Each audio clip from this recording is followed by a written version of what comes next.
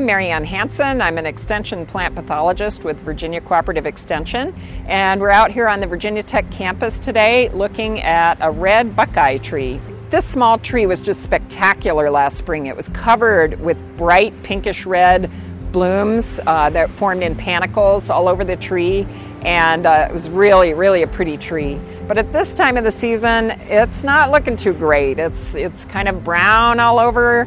Looks like it's maybe drought stressed.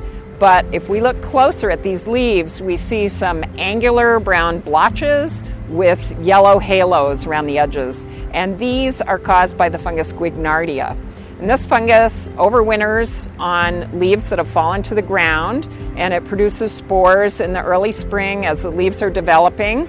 And these spores uh, infect the new leaves. And about 10 to 20 days after infection, you start to see these blotches on the leaves. Uh, they're often at the leaf edges, but they can also follow the leaf veins.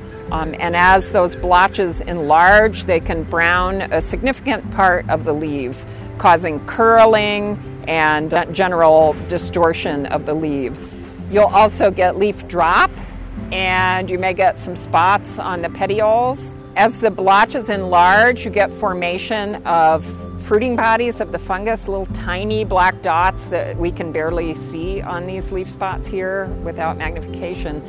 But those fruiting bodies contain spores of the fungus.